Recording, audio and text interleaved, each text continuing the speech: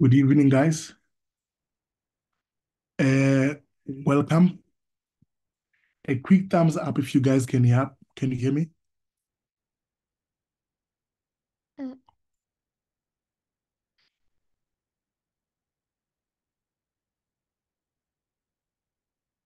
Right, that's good enough for me. Right. Today we are going to focus on sequencing series, in particular the arithmetic sequence and the geometric sequence. Last week we did the quadratic sequence, and I felt that people responded well to the quadratic sequence and they understood how to approach questions involving the quadratic sequence.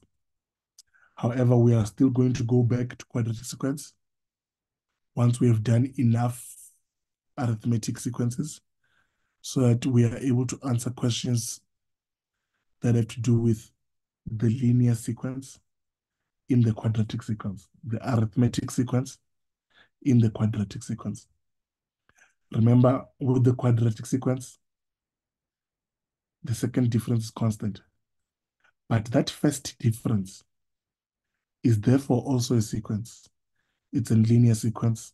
It's an arithmetic sequence.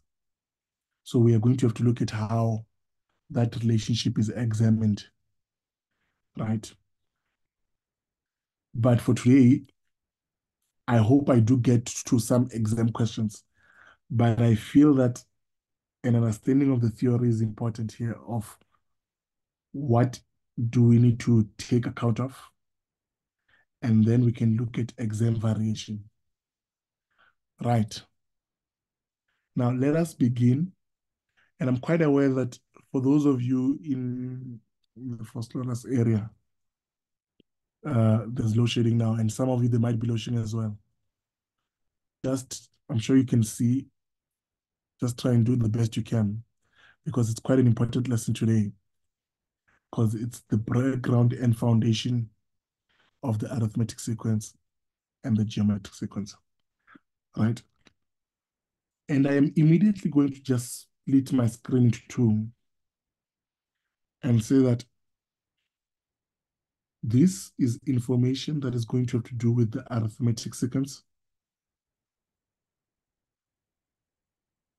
right? And this is information that is going to do with the geometric.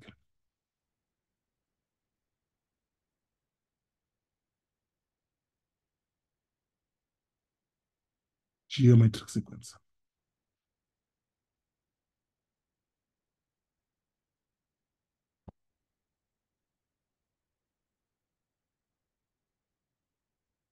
Perfect. Now, the first thing that we need to remember is that the arithmetic sequence is the linear sequence from grade 11. And what you learned there was that with the arithmetic sequence, the difference between two consecutive terms is equal, is constant. In other words, T2 minus T1 will be your difference. And remember, it's always term after minus term before. D is also T3 minus T2. We are saying this D1 and this D2 are going to be equal. That means the difference is constant. Example, 4, 7, 10. 7 minus 4 is 3. 10 minus 7 is 3. If I give you minus 5, minus 7, minus 9, negative 7. This is worth changing color. Negative 7 minus negative 5 will give will be negative 2. Likewise, negative 9 minus brackets minus 7. This also gives us negative 2. And the reason I'm doing this is just to show you that don't make mistakes with the signs. There's a difference between the minus in the difference here and the minus for the term. So if it's both of them, it's going to go minus minus. And thus the difference for the first sequence is 3. And the difference for the other sequence is negative 2. Right? And then for the geometric series,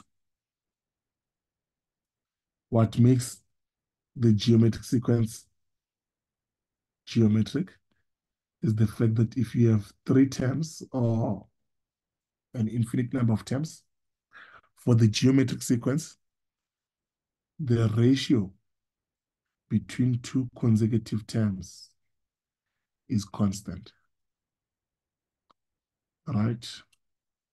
Today is going to be a lot of theory, but we will get to some calculations. Right? We are saying that R1 and R2 are going to be equal. Right? And any R after that, the ratio is common. Example, if I give you 3, 6, 12, the ratio is going to be 6 divided by 3. The ratio is also 12 divided by 6. And the ratio is therefore 2. And the ratio is therefore 2, which means the ratio is 2. Also, if I have 16, negative 8, 4, negative 2, etc., etc. The ratio here would be negative 8 divided by 16. The ratio here would be 4 divided by negative 8. For both of them, R will be negative half, R will be a negative half. And the reason that this sequence, the second one, I'm really sh showing it to you is because you do get questions that say, find the value of R such that the sequence alternates between positive and negative terms. So we can see that when you solve for R, you'll probably find two values of R, one positive value and one negative value. So the geometric sequence will have an alternative uh, uh, number of terms, positive and negative, when R is negative. The moment R is negative, our sequence will alternate between negative and positive terms. So it's worth noting that only R is negative will this case occur. But generally, we are saying we need to be able to distinguish between the arithmetic sequence and the geometric sequence. Thumbs up if you're still happy with that.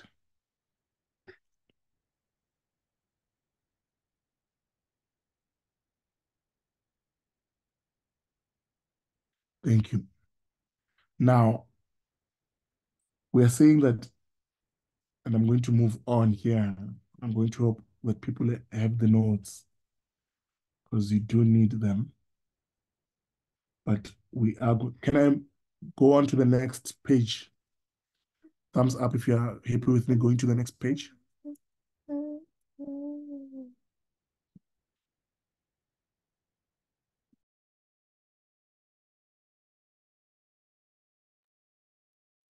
All right. Now, I'm also going to split my screen.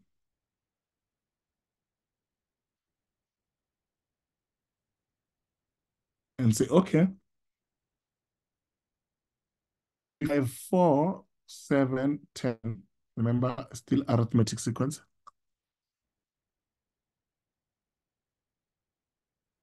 Right. How do I find the next two terms? This is an exam question. What are you going to do here? You're going to go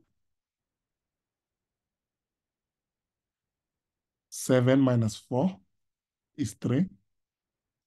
10 minus 7 is also 3. So the next difference is still 3 because the sequence is arithmetic or linear. Then 10 plus 3 would have been 13 because I would need to subtract 10 from 13 to get 3. Likewise, the next difference would be 3. 13 plus 3 is 16. Remember, if I have to find the difference, I'm going backwards, isn't it?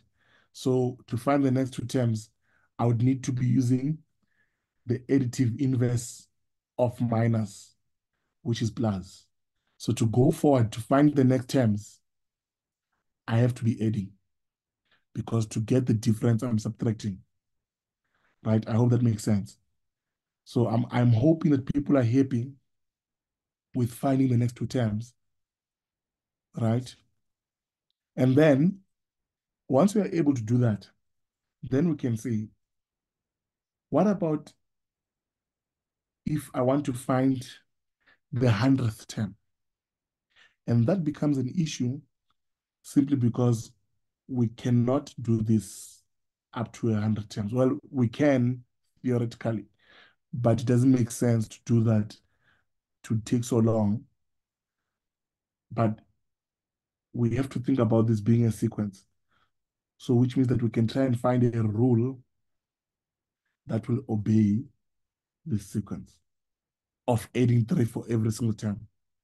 So what we do then is to say, let T1, which is the first term, equal to A.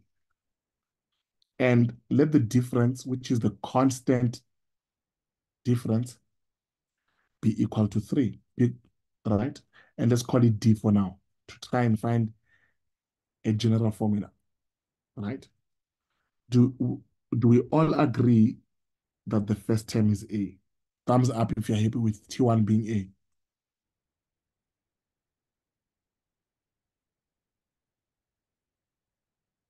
Perfect. Do we then all agree that T2 is simply the first term with the difference added onto the first term? For example, 4 plus 3 giving you 7. Thumbs up if you're happy with that. T2 equals to A plus D.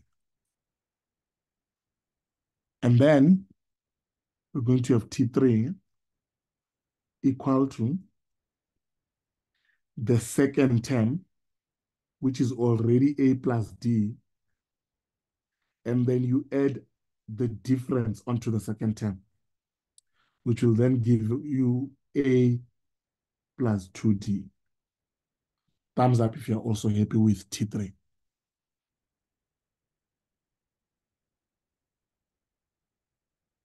Which also means T4 could then be written as A plus 2D, which is the third term, isn't it? And you add the difference onto the third term, and you get A plus 3D. Thumbs up if you're happy with T4.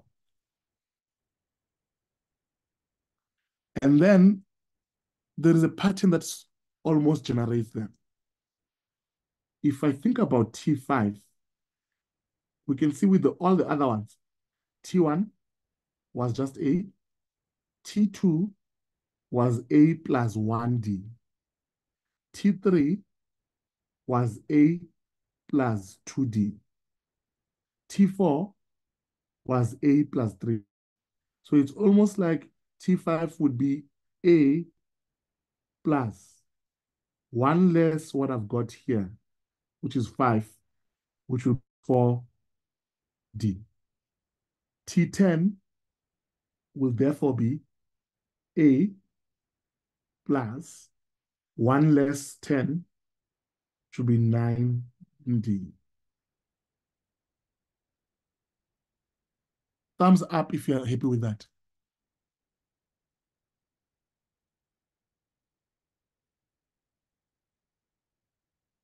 Which means that Tn is going to be equal to A plus 1 less n, which is n minus 1 d. And that becomes the general term of the arithmetic sequence. And the general term is an important tool that we are going to discuss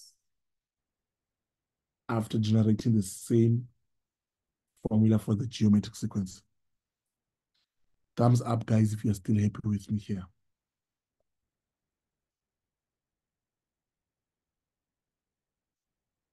Right.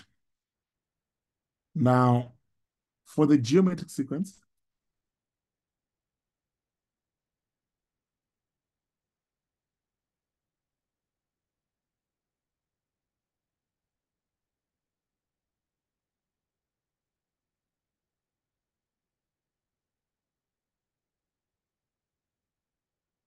Likewise, if I have three, six, 12, right? We can see that the ratio is 6 divided by 3, which is 2 confirm that it's constant, 12 divided by 6, which is also true.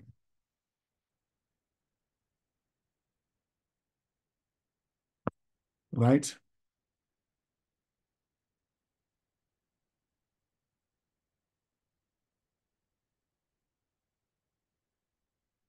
Thumbs up if you guys can hear me.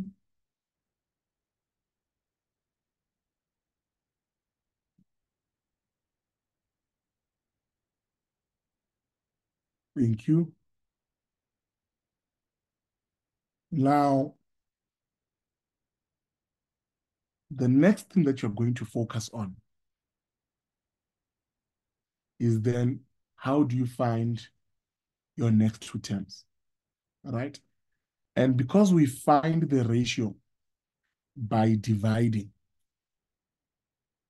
we find the ratio by dividing. What we are going to do is to say, to find the next terms, I will simply go multiplied by, right? That is the inverse of multiplication or of division. Division is the inverse of multiplication. Multiplication is the inverse of division. So because I, when I find the ratio, I divide, to find the next term, I'm going to multiply. Multiply by what? By the ratio. So I'm going to go 12, right, times 2 is 24. 24 times 2 is 48. And this is how I'm going to find my next two terms. Thumbs up if you're still happy with that.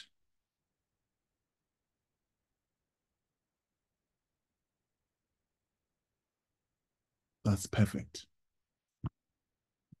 And then we are going to say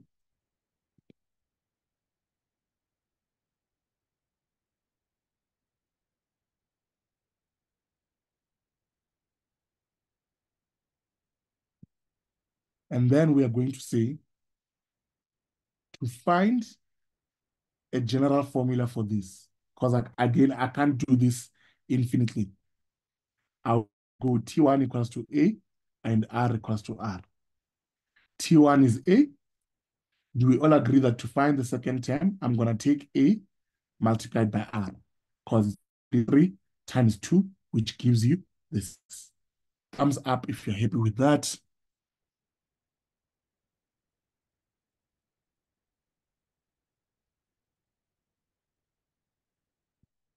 Right. Thank you, guys. And then T3 would be the 6, which is in this case AR, multiplied by another R. And then using your laws of exponents, this would be AR to the power of 2. Thumbs up if you're happy with that statement.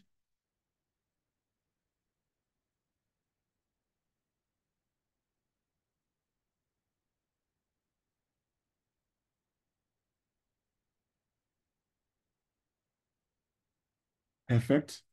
And then likewise, T4 would then be the third term, AR squared, times R once more, which would then be AR to the power of 3. And just like with the arithmetic sequence, a pattern generates T5 will be AR to the power of 4. T10 would be AR to the power of 9. Therefore, Tn would be AR to the power of n minus 1. And that is the formula for the geometric series or sequence in this case for the general term.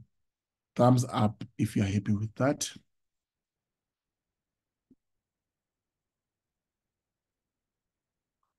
Perfect. Now, that is important information, guys. And the reason that is important information is simply because when we look at sequences and series, the general term plays an important role, a very important role. Number one, the, the role that the general term plays is the fact that you can find any term in the sequence using the general term, right? In this case, for example, I can find T100, the 100th term, by substituting 100 in, in the place of n, and thus getting, remember you have a value of A and D, and thus getting the value of T100, right? You can also calculate number of terms. Maybe we write down what each of the general term represents. All right, like I said, today is theory because it's important that you understand where all these things come from so that we can start discussing this arithmetic sequence. Right, we know that Tn is equal to A plus N minus 1 D. Right? Tn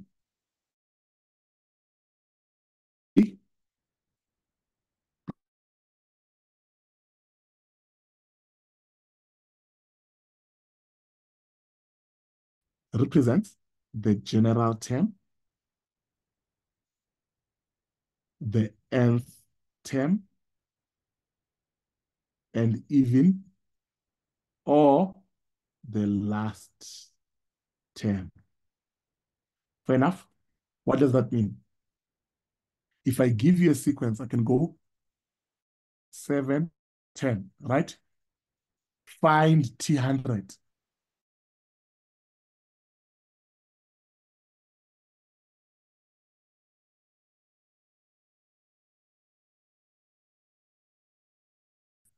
I'm going to say T100 is part of this sequence.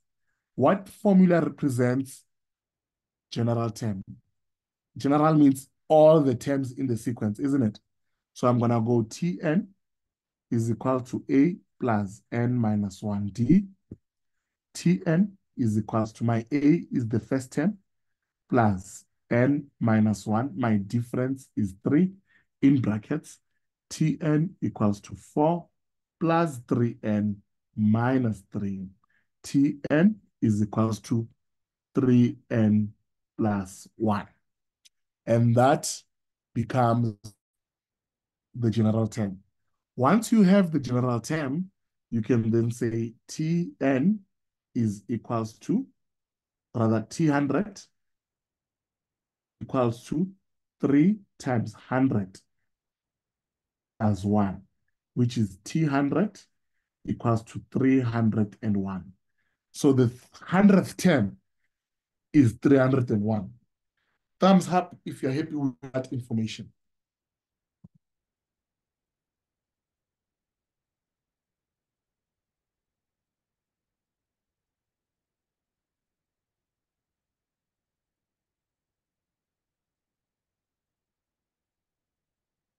Perfect. And then, okay, what if I give you four,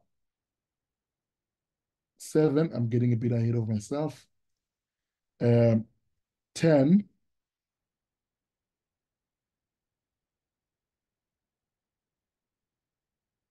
ten,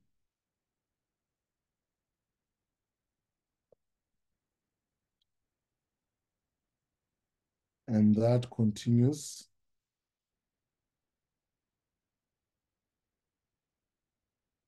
all the way until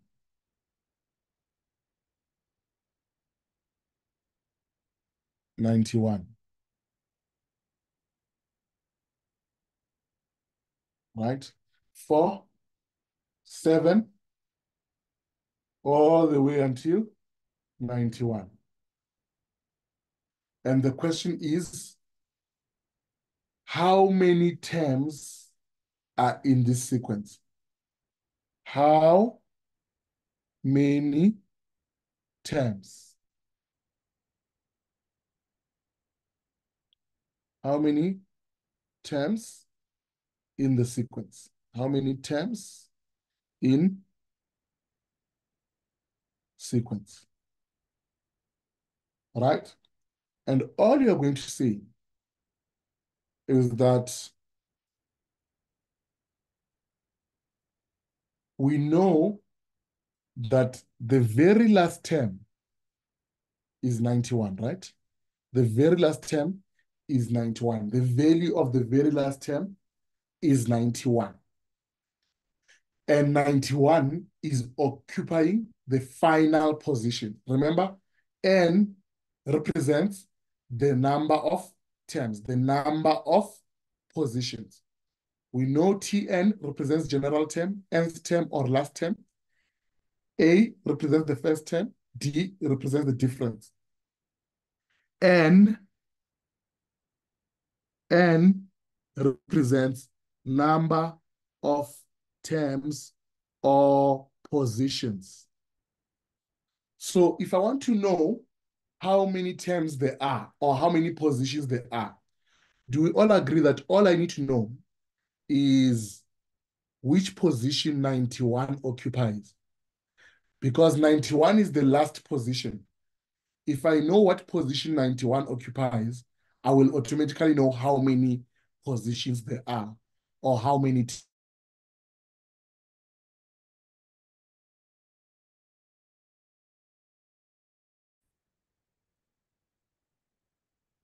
Perfect. Which then means that I'm going to have Tn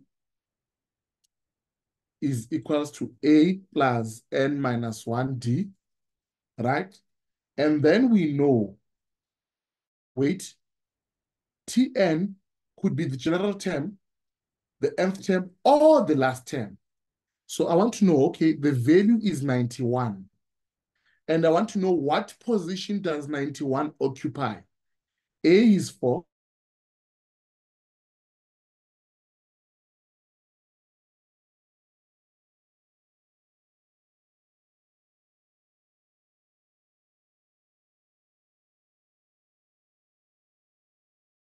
Four plus three times n is 3n.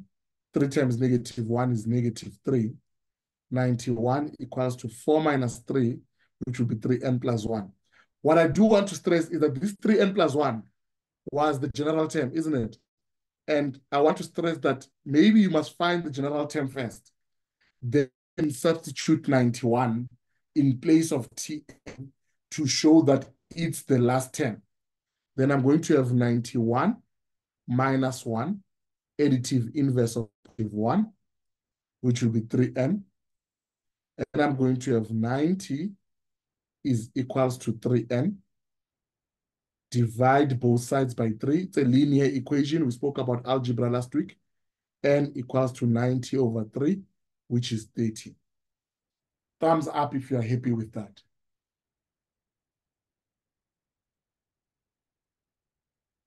Okay, I've got a question from Yin. Sure. You can unmute.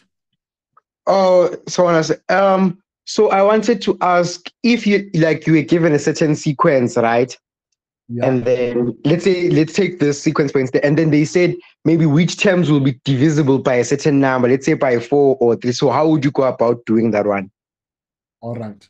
Uh, I'm going to show you just now with one where the terms are divisible, and then I explain how you do that one. And All right. I, I was going to get to those kinds of questions when we get to variation, but I might as well just give you a, a quick tip because it's not difficult to do that, right?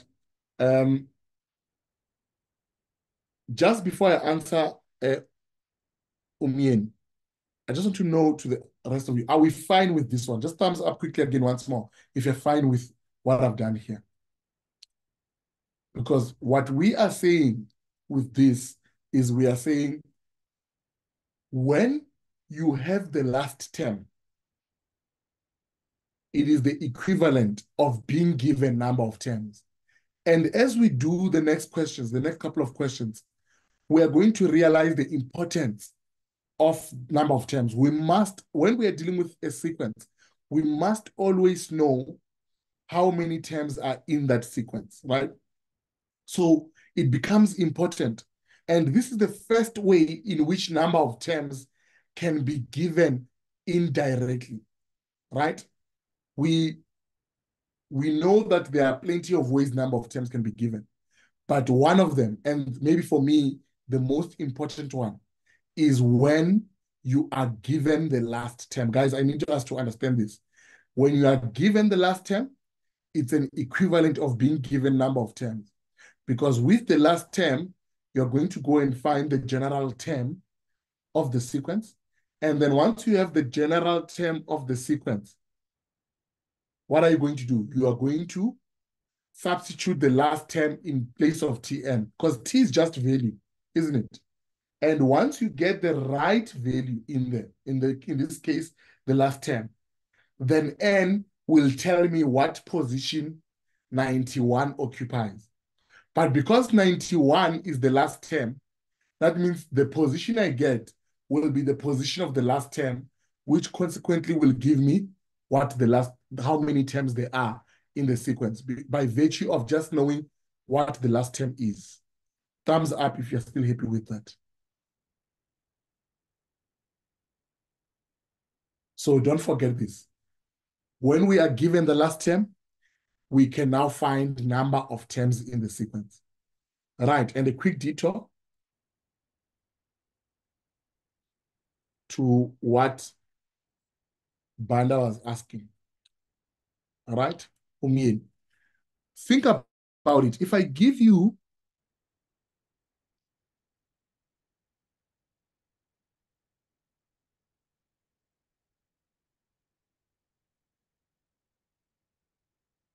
a sequence, right?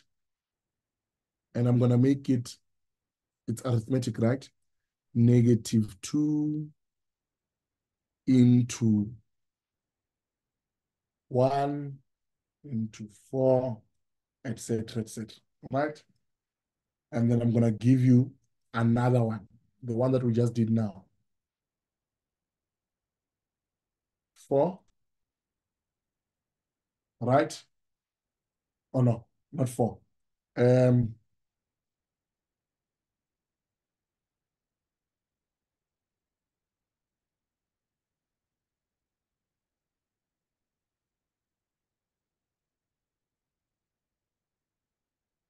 not four.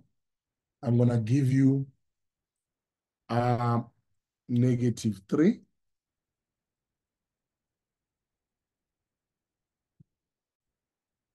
Zero,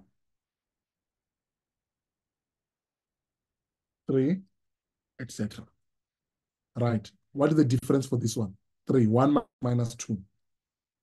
4 minus 1 is also 3. 0 minus minus 3. 0 minus minus 3 is 3. 3 minus 0 is also 3. General term here, Tn is equals to A plus n minus 1d. Tn is 3, rather negative 2, plus n minus 1 times the difference, which is 3. Tn is going to be, your algebra here should be fine. You're going to get 3n minus 5, right? And then for this one, same thing. A plus n minus 1d, you're going to get Tn is equal to 3n minus 6. Thumbs up if you're happy with both those general terms. Right. Then the question is, show that all the terms in this sequence, this first one, are divisible by 3. Or none of these terms in the sequence are divisible by 3. I'm just making an example, right? Now, you are not going to expand infinitely and maybe expand to 10 terms or 20 terms and then divide each one by 3 to prove that the terms are divisible by 3. That's not allowed. Because even if I prove 20 terms divisible by 3, right? it doesn't guarantee that the next 20 are also divisible by 3 or the next 5 even are divisible by 3. So to prove that all the terms in the sequence are divisible by 3, you need to divide an expression that contains all the terms in the sequence. And that expression is the general term. So if I want to prove that the sequence, all the terms in the sequence are divisible by 3, I need to divide the general term by 3, which basically means I'm dividing this by 3.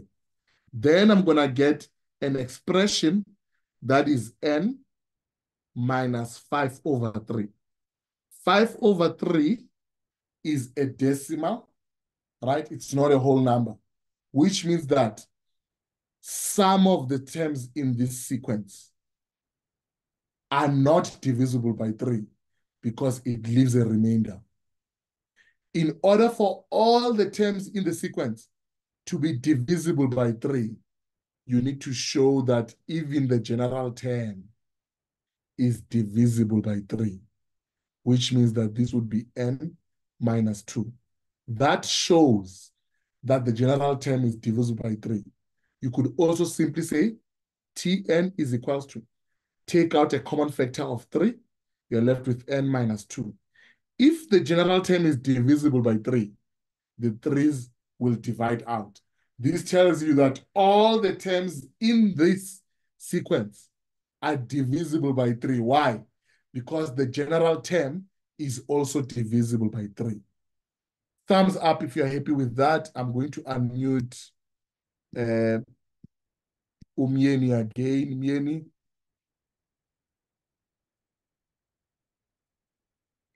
Oh, right. So, oh, yeah, I see. Yeah. Yeah. So and if you're going to prove that a sequence is divisible by five, then you need to show that the general term is divisible by five. And for both sequences, not just for arithmetic, same thing applies for geometric. You will find that it's divisible by that number. Okay. For the sequences, the, all the, the terms in the sequence are divisible by five because the general term contains all the terms in the sequence. Oh, okay, sir. All right. Uh, Thank you. Are you fine? Yes, sir, I'm fine. Thank you, sir. All right. Thumbs up if you guys are happy with that.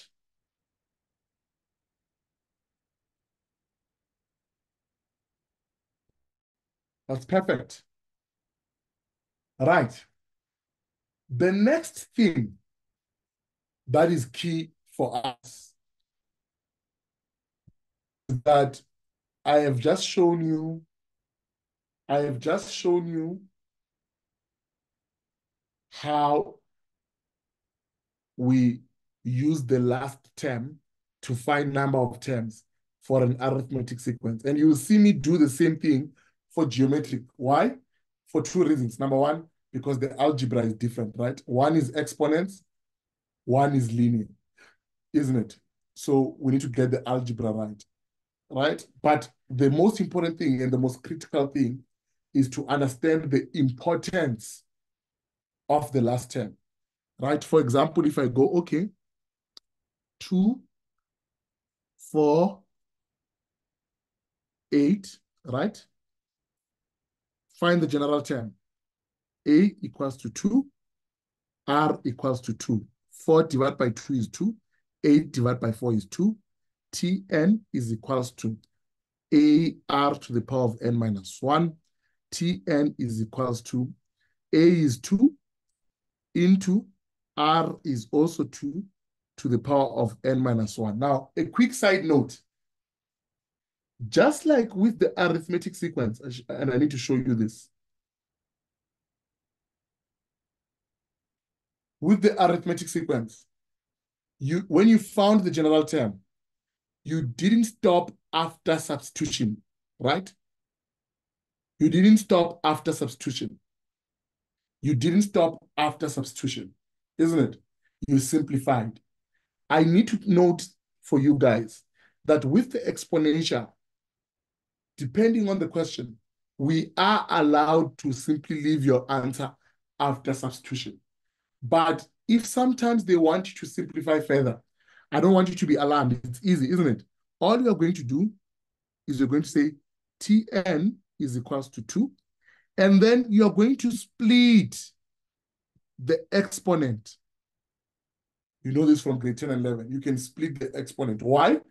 So that that and that are just numbers, isn't it? 2 to the power of negative 1 is 1 over 2. 2 times 2 to the power of negative 1 is 1.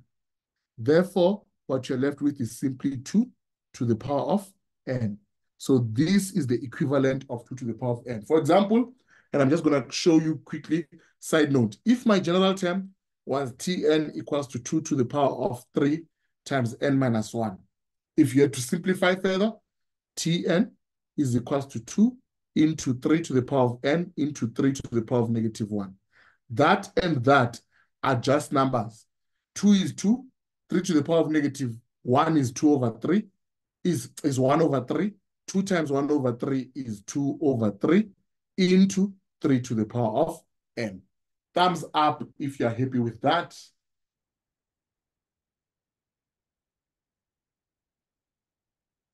So don't be alarmed when you get to some questions on the geometric sequence and they're asking you to do those kinds of things, right? You have to be willing to do the exponents there, simplifying exponents, etc., etc. Right. Again, I've got my general term. Are you guys with me here? So if they want you to find T6, all you're going to do is go T6, find the general term, then T6 is 2 into 2 to the power of 6 minus 1. T6 is going to be equal to 2 to the power of 6 minus 1 is 32 times 2, it's 64. So your T6 is 64.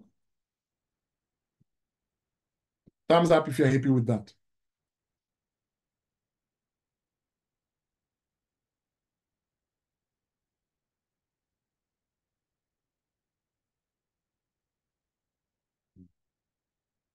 Thank you, guys. Now, what about if you get a question two, four, eight, right?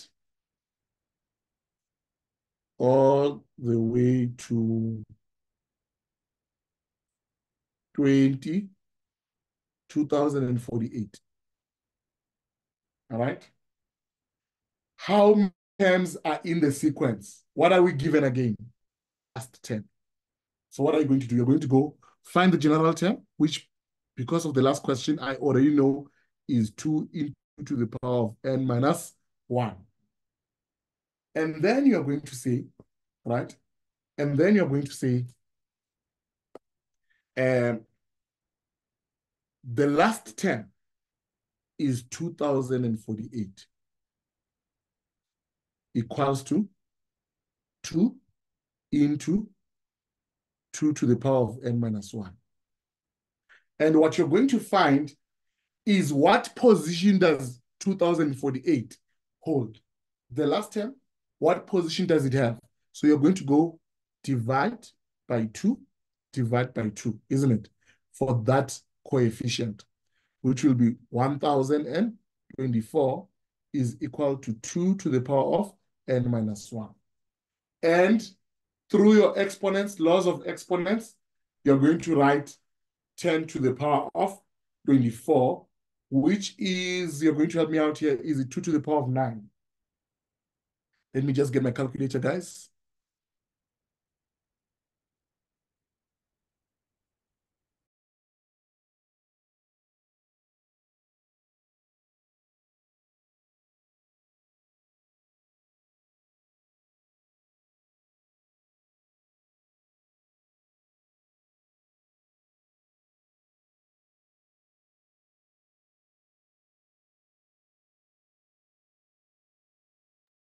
Right, guys, it's 2 to the power of 10 is equal to 2 to the power of n minus 1. This comes from your laws of exponents. Remember, if you're solving exponential equations and the unknown is in the exponent, make your bases the same so that you can equate the exponents. Then that becomes a linear equation. And how do you solve linear equations? Unknown one side, numbers one side, 11 equals to n. So 2048 holds position 11 in the sequence. And because it's the last term, that means there are 11 terms in the sequence. Thumbs up if you're happy with that.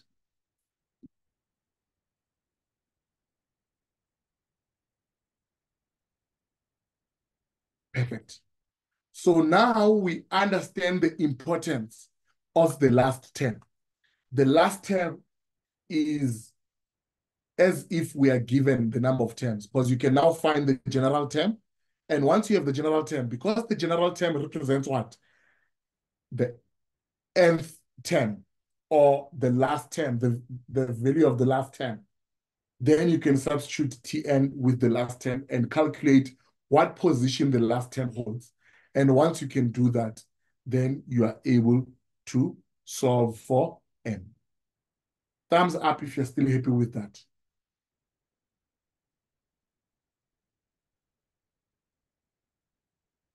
Perfect. Theory, guys, all this I'm going to need, right?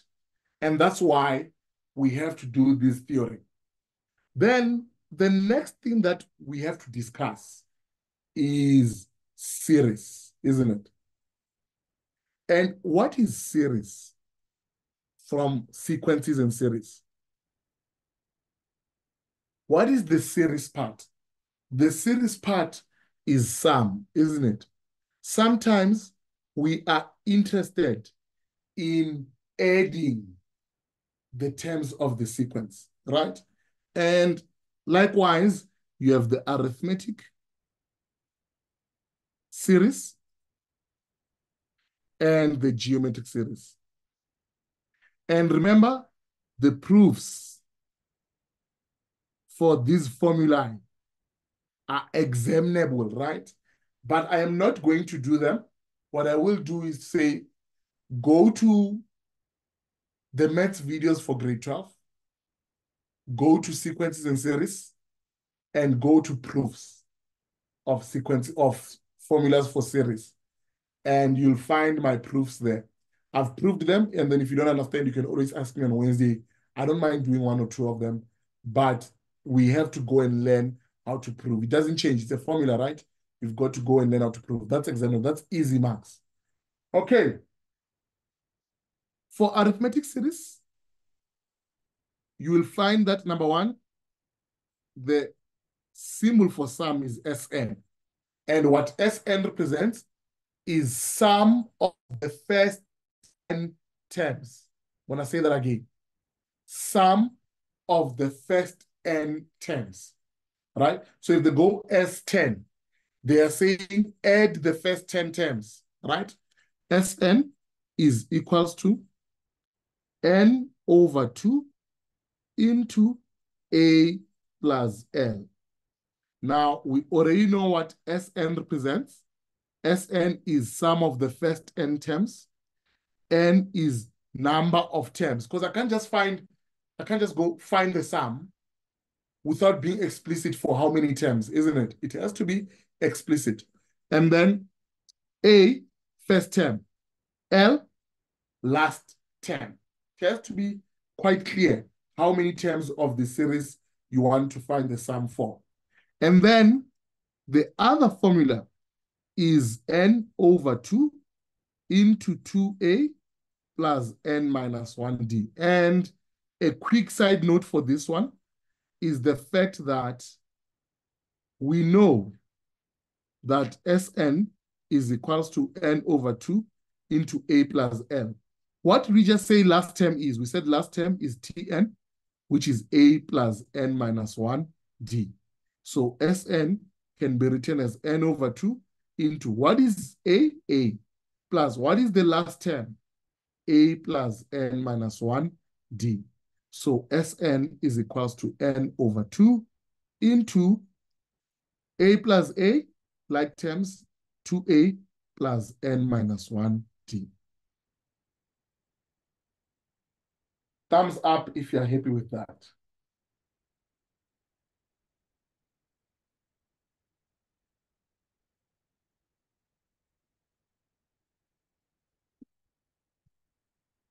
Thank you so much, guys.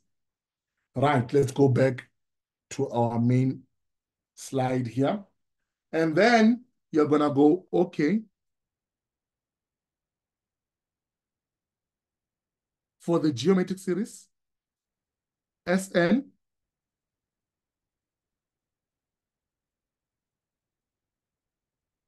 Sn is equal to what? A into r to the power of n minus 1 all over r minus 1 when r is greater than 1.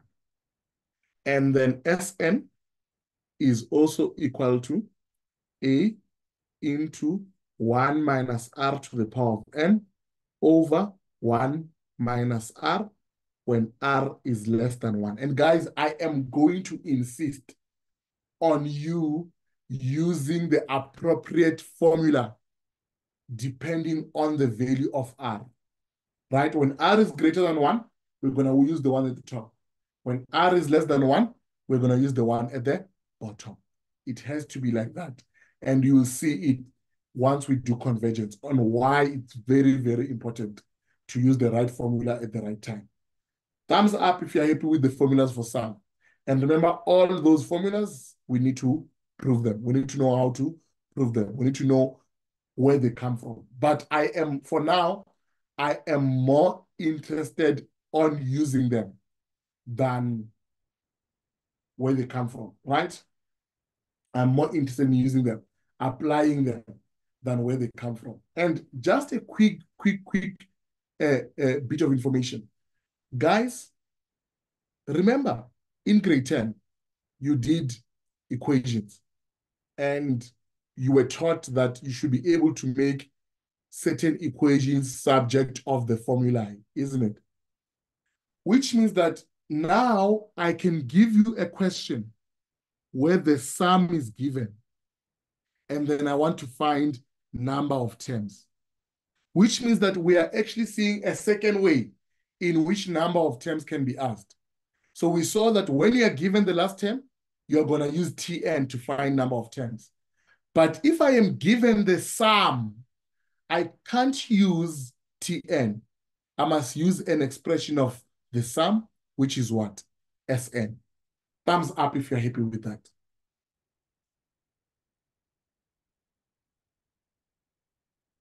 Right, and we will see questions uh, as we do algebra, isn't it?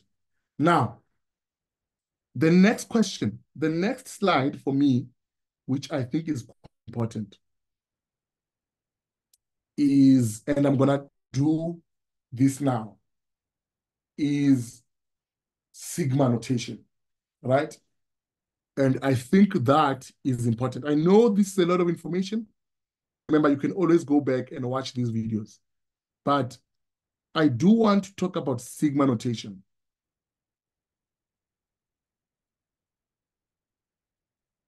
And the reason I want to talk about sigma notation is because it is a way of writing sums in shorthand, isn't it? Sigma is Greek for sum. The summation notation, sigma notation. Are you guys with me here? Now, there are three components that are in sigma. Three. Three components. And if I give you sigma of Tn from n equals to 1 up to n equals to p.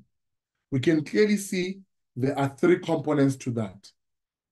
The first component is the lower limit. What does the lower limit tell us?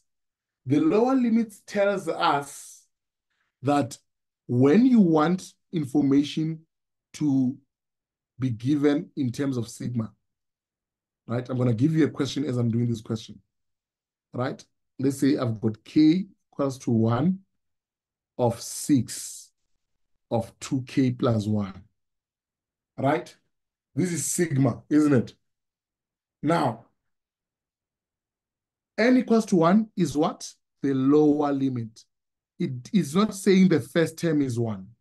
No, it's saying when you substitute, start at k equals to 1. So what are you going to do? You're going to say, okay, k equals to 1, right? Which means that 2 into 1 plus 1 is equals to 3. So when I substitute the lower limit, I get a value. That value is my first term. Thumbs up if you are happy with what the lower limit does.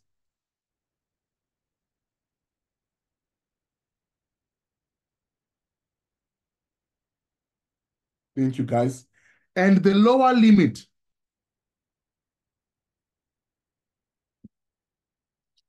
is an integer. Normally, at this level, lower limit is simply integer, so, right? So it can take on negative values as well. Are you guys with me here? But it is the lower limit. In other words, it's going to be the lowest of the two, right? And then the one at the top is the upper limit. This is the last value we substitute. In other words, we now know that, okay, after k is 1, what is the next integer? k is 2. 2 times 2 plus 1 is 5, which means the next term after 3 is 5, right? And then we have k equals to 3, which will be 2 times 3 plus 1, which is equals to 7. k equals to 4. 2 times 4 plus 1 equals to 9. k equals to 5. 2 times 5 plus 1 equals to 11. k equals to 6. 2 times 6 plus 1 equals to 13, which means my series, remember series is sum, it's still a sequence, but with plus in between because it's now sum, which means my sum is like that, right? This is me taking information that is written in terms of sigma notation and then expanding that information right? I'm taking information written in terms of sigma notation.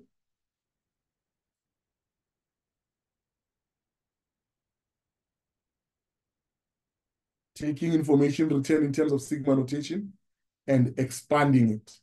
Thumbs up if you're happy with how you're going to expand in terms of sigma.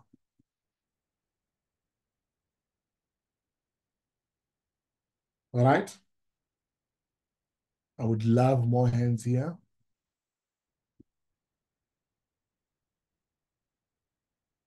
Thank you, guys. Right. Now, once we understand that foundation, right, next thing that is key is to understand what that is. And that is something that you already know how to calculate, which is general term. Are you guys with me here? So that is the general term of the series. Now, if I go to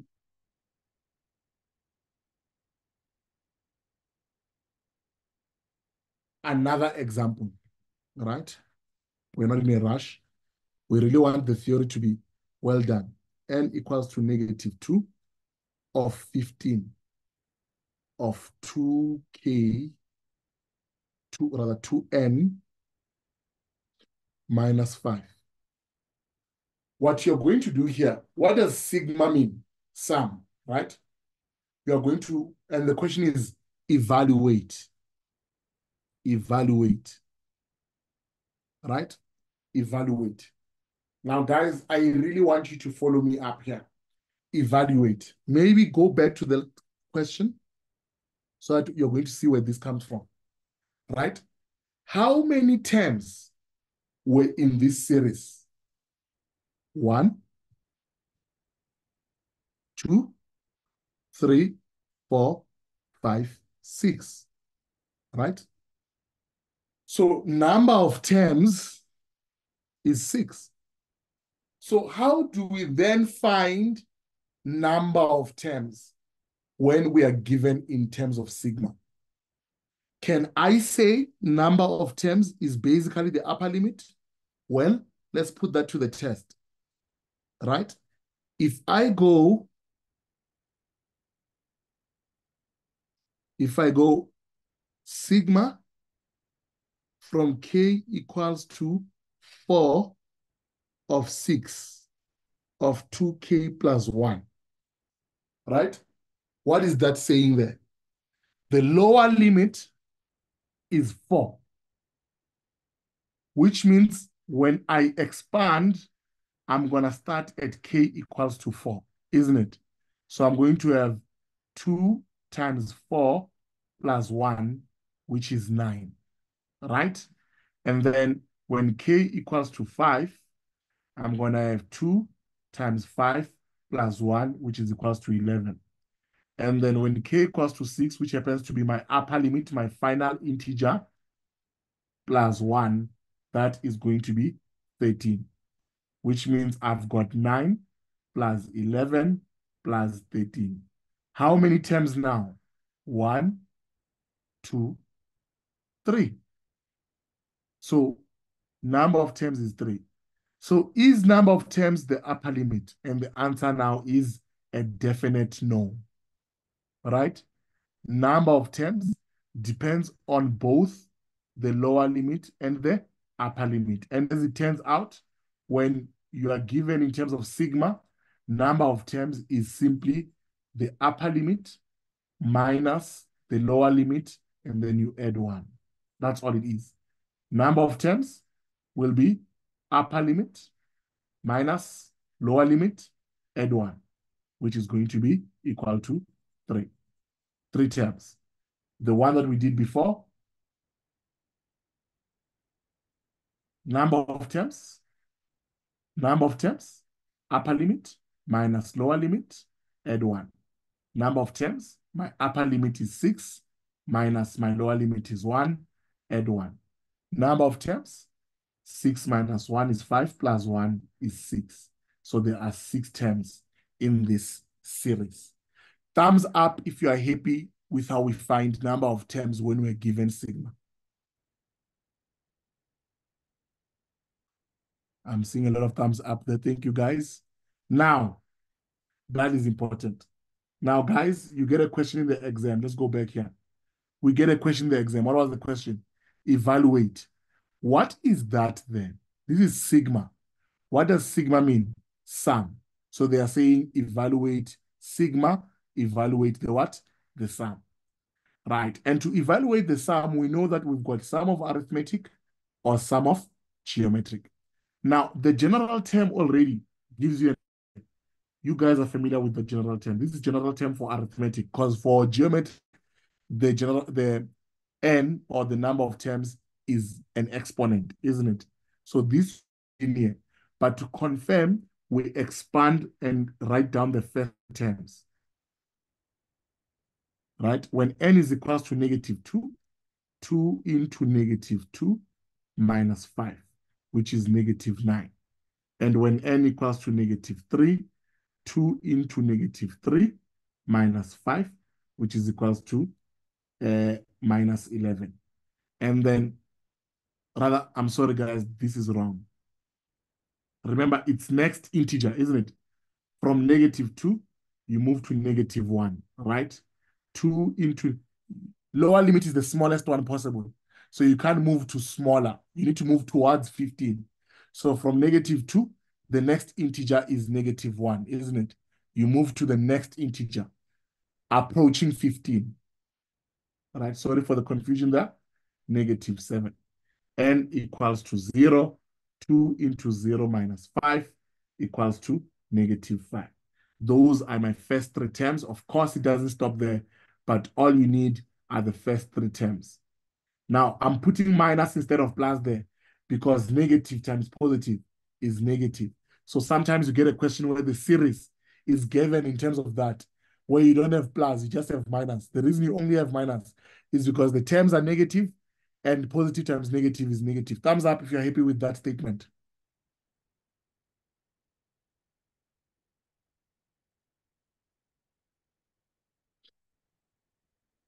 Thank you. And then the next thing that you're going to say is once you have your first three terms, then we need number of terms, isn't it? They wanted the sum. And to find sum, you need number of terms. Number of terms, upper limit minus lower limit plus 1. Number of terms, what is my upper limit? 15 minus, what is my lower limit? Minus 2. So it's minus for the formula, then minus 2 because our lower limit is negative 2 plus 1. This is going to be 15 plus 2, which is 17. 17 plus 1, which is 18. Thumbs up if you are happy with the fact that our number of terms is 18.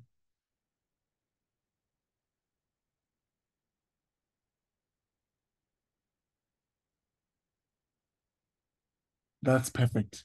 And then from then on, I'm going to go sum of the first n terms of this series is n over 2 into 2a plus n minus 1d.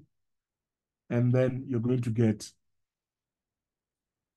Sn is equals to how many terms, by the way, guys?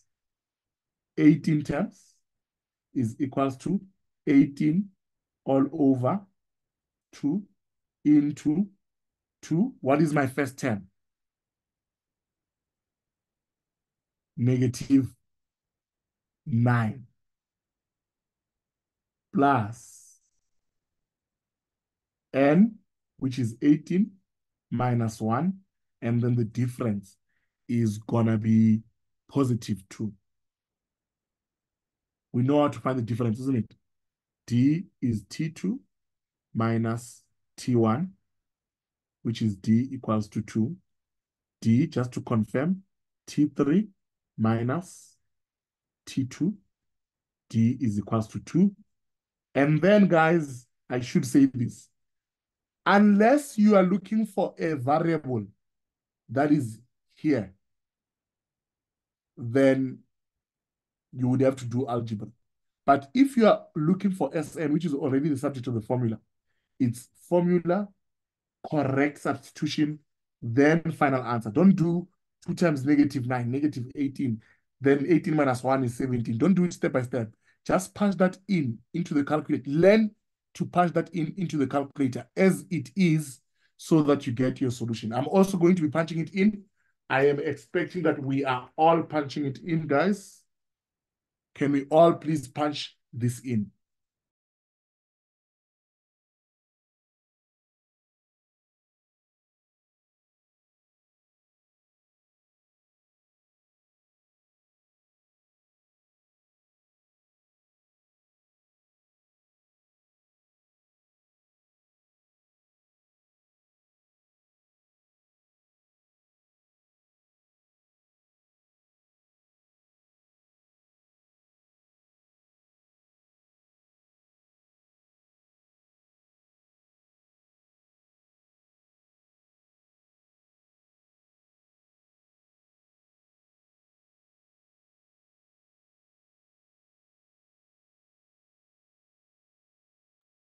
I am getting 144. Thumbs up if you're also getting that as well.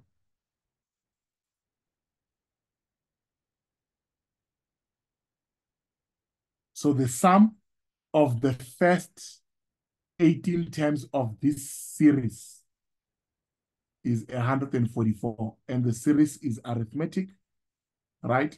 And that's how you do it then. Now, we have explained how to find number of terms.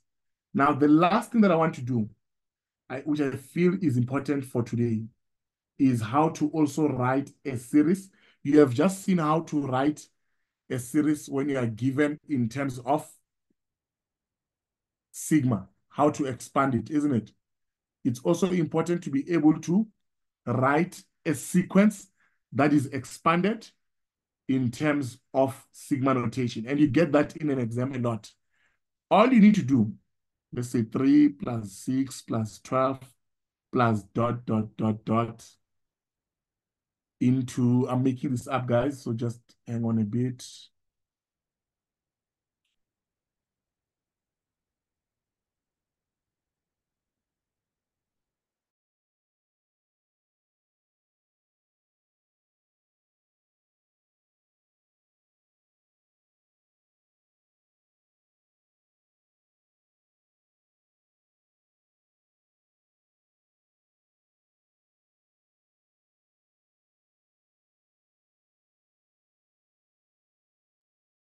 Right. 15,000 or rather 1,536. Right. So write the following series in sigma notation. What are you going to do? Guys, follow what I'm going to do here now. You're going to go, okay. A is 3. The difference, or rather the ratio is 2. 6 divided by 3 is 2. 12 divided by 6 is 2. Right. What do I need? I need to write it in terms of sigma notation. You, when you are the one writing in terms of sigma notation, you are always going to make your lower limit to be 1. Why? Because we have already seen that when the lower limit is 1, then the upper limit, the upper limit is also equal to the what? Number of terms, right?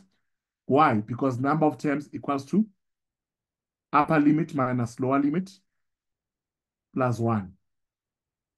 So if your upper limit, right? If your lower limit is 1 plus 1 minus 1 plus 1 becomes 0.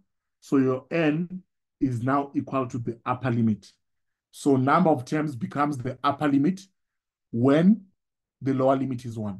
Thumbs up if you're happy with that. Number of terms is not the upper limit. Don't get me wrong. But I'm saying when the lower limit is 1, then the number of terms will be equal to the upper limit. Why? Because minus 1 plus 1 will, will subtract out, and then you're left with n equals to u. Right. Now, the reason I'm telling you that is because when we are writing in terms of sigma, I already know what my lower limit is. All I need is my upper limit.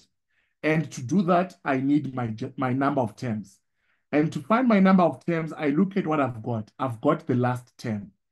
At the beginning of our lesson, we said the moment you are given the last term is the equivalent of being given number of terms because you can now go Tn equals to, this is geometric. Tn is equals to a is 3, R is 2 to the power of n minus 1. What is my last term? 1,536 equals to 3 into 2 to the power of n minus 1. Divide by 3, divide by 3. 1,536 divided by 3 is 512, which is equals to 2 to the power of n minus 1. 512 can be written as 2 to the 9 is equals to 2 to the power of n plus 1. The bases are the same, therefore the exponents are also the same, and then 9 plus 1 is equals to n, 10 equals to n. So how many terms are in this series? 10, because the last term is position number 10. But the last term in this case is also equal to the what? The upper limit. So when you write this in sigma notation, you're going to go,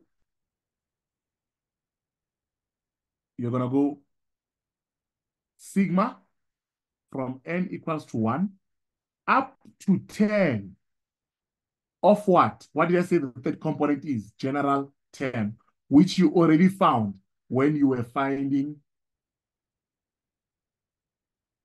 your number of terms. And that is how we write in terms of sigma notation.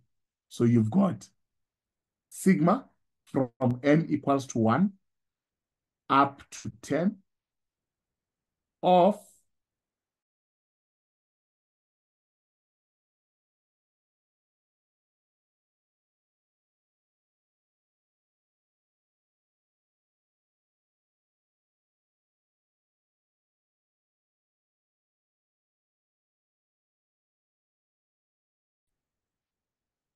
thumbs up if you're happy with that.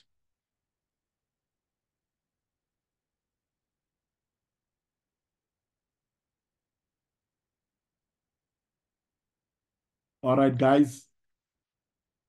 Um, we have covered quite a lot of theory. Not a lot of calculations, but quite a lot of theory. But with the theory we have covered, we have actually done enough so that on Wednesday when we meet, we can now look at exam variation. Andres is going to post on the WhatsApp group and also on the app a document which shows variation of questions. And we are going to be looking at how to approach those questions uh, on Wednesday. Uh, guys, Wednesday session is going to be very important. I'm going to give everyone the ability to unmute, themselves. Right. I know that I've covered basics. I hope it's basics. It's not something that's difficult. But how many people found today's lesson useful in the sense that they learned something new? And if you don't mind, just unmute if you learned something new that you had not seen before, and then tell me what it is so that I know exactly where I need to stress uh, when I do, what I need to stress when I do questions on Wednesday.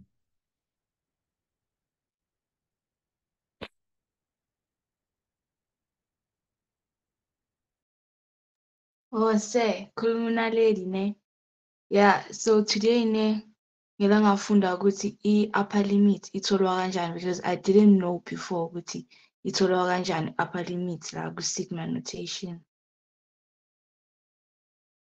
Actually quite important how to find that upper limit. When you're writing in terms of sigma, it's important. You need number of terms for that. Sometimes they give you number of terms. which is- Yes, sir. Yes, sir. Eh, khona enye question engike ngahlangana nayo engifuna ukuyibuza i yabo i-upper limit kwala inokubhalwa kube u-infinity. Yebo, sir. Uh, yeah, yeah, Just It's unmute, khona just mute there quickly. I understand what you're saying. Yes, you've got a, a sometimes you get questions where there's infinity at the top, but that's convergence. And I've not discussed convergence today. I'm going to discuss convergence on Wednesday. So we'll see how to do those questions on Wednesday when we do convergence. Sure.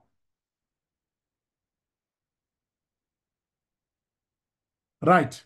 Guys, my suggestion, Andres, are you still there?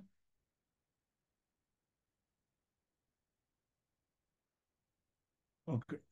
Andres is probably in a meeting, but he, Hi, hi, sorry, Andres- I'm just in a different session.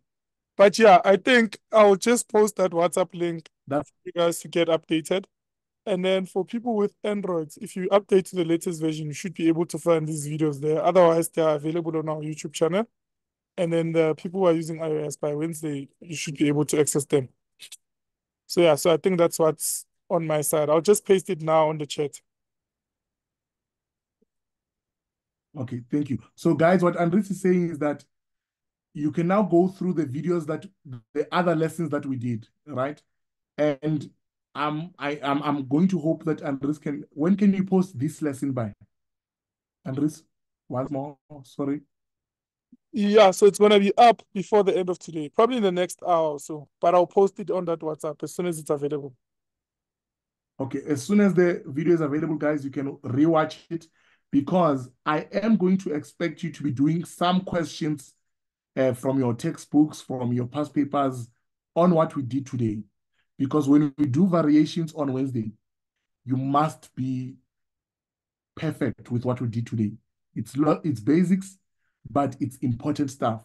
For example, when I give you the last term, I expect you guys to know immediately that the last term can be used to find number of terms. If I give you sum, I can use the sum to find number of terms. If I give you sigma notation, I can use that to expand. I can find the sum and I can write a series in terms of sigma. Those, those things are important. So just go through the videos once more if you have any problems. Wednesday session is one of the most important sessions for us if we're going to be understanding how to solving to solve sequence, sequences and series problems. So Andres will do that for us. I will send the document that I expect you to have gone through by Wednesday. There's some very interesting questions, and then we're going to be fine. Guys, if there are no other questions, I think we've come to the end of the lesson. I think Andres has already posted the link. There it is. Join in. And then he also said something that that is the link to the WhatsApp channel, right? And then he's also said that make sure if you're using an Android device, go to Play Store, update the app. There's videos, the videos are now available. The on the live lesson videos are now available. Don't forget to rate us on the app. That helps us quite a lot.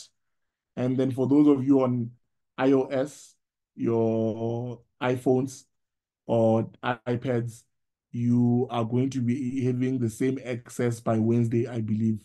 Let's just say Friday to make sure. Right. Yeah. Otherwise, for now, you could be using our YouTube channel.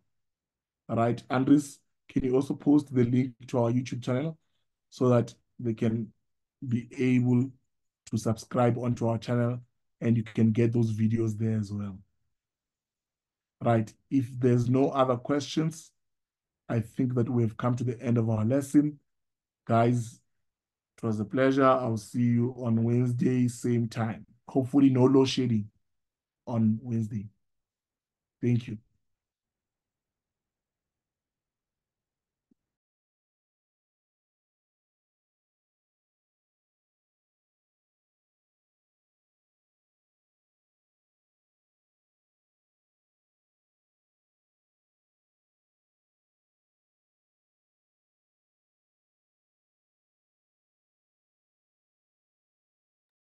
Andres has just posted the link to our YouTube channel as well. Thank you, Andres.